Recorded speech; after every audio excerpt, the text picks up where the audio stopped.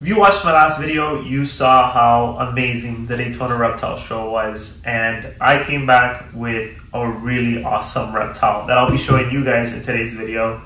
I am super excited, so let's just get straight into it.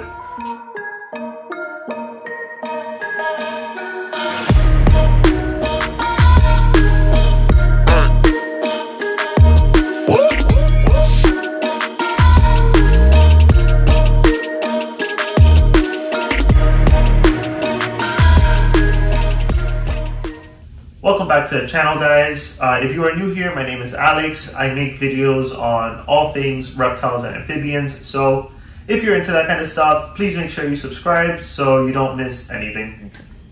Guys, here we have them. The California king snake. This is what I picked up at Daytona. Uh, it's a snake I've wanted for uh, quite a while now since I first saw them. Um, and guys, I'm just so in love with him. He's such a cool snake so far. Um, I've had him for about five, four or five days now, and he has been awesome. Normally, snakes take a while to acclimate to a new environment before they can start feeding. He ate with me the second day he was here, uh, so that's always a good sign. King snakes are known for having a really big appetite, so they actually even eat other snakes, which is pretty cool. Um, in the wild, they'll have a checkered pattern, and a lot of the times they're they won't be so black and white. Sometimes they'll be more brownish and more yellowish as well. So this is a really cool one. Um, I just love, love his pattern. You can see he's a very active snake, lots of tongue flicks, trying to figure out what's going on. Um, yeah, he's got this really, really cool um, belly pattern as well. Uh, the underside of his belly is kind of like this more, more of a brownish color as opposed to the black that he has throughout his body. But yeah, guys, super duper cool. He um, he's a colubrid, just like Meliodas. So they have very similar uh, body body and head shapes. Uh, they'll actually grow to about the same size. Both species are usually four to five feet. Sometimes they get up to six, but that's pretty rare. Um, but yeah, guys, just a super duper awesome snake. I love his pattern, love his personality so far. I'm just really, really excited to, to have him and watch him grow. Um, as far as name goes, I named him McFlurry for obvious reasons, and I actually really, really like that name. So this is McFlurry, and yeah, guys, I'm just super duper stoked to have him. Like, just I think his pattern is so so cool, and I really like how how dark his his eyes are. They're like a jet black color um, probably the darkest out of all my animals in terms of just eyes. Like it's really sick in my opinion. He's got a cool little head stamp. I like this little one splotch of white that he has on his head.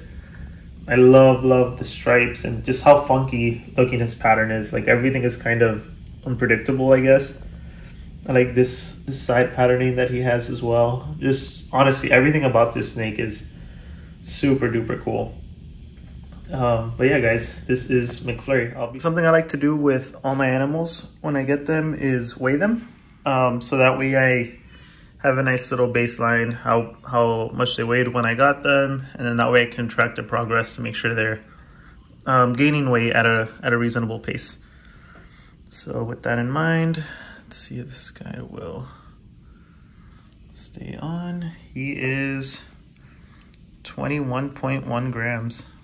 Not bad at all. So guys, this is his current setup. It's just a 20 gallon long. This is perfect for a baby. Obviously, he'll need something bigger eventually.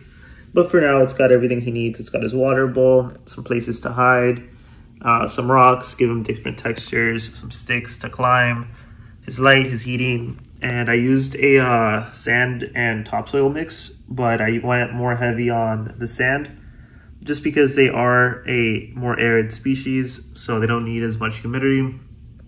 But yeah, guys, this is his setup. Where are you going?